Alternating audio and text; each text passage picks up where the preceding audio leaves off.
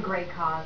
Hey, well, of course, we're talking Red Sox Yankee series taking center stage this Patriots Day weekend. It's been good to us so far. That's right. Let's keep our fingers crossed. But there was, was another game going on today to help raise money for Curt Schilling's charity to fight Lou Gehrig's disease. It's a good cause. Rob Nikolewski here now with more. Hey, Rob.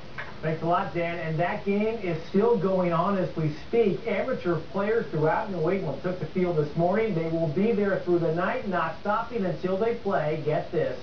100 innings of baseball. More than 150 players taking part in the 100 innings of baseball spectacular at Kelly Field in Hyde Park. The first pitch was thrown at 9 o'clock this morning. The fun won't stop until 6 o'clock tomorrow night. All the proceeds go to the Curt's Pitch for ALS program, which is run by New Sox pitcher Curt Schilling and his wife Shonda to help fight Lou Gehrig's disease. While Curt was beating the Yankees this afternoon, these guys were trying to beat ALS. Well, about 10 years ago, he met an ALS patient, and that's all that it took for him and his wife to pledge their support to the ALS Association. They've got no family members. Um, they're just absolutely committed because this is such a devastating disease. Um, their goal, obviously, is to find the cure.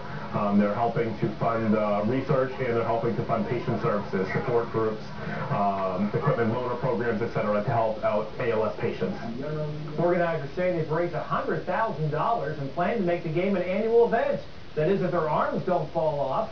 When he played in Philadelphia and Arizona, Schilling raised more than $2 million for ALS patients. So far, he has donated $25,000 to the ALS chapter of Massachusetts.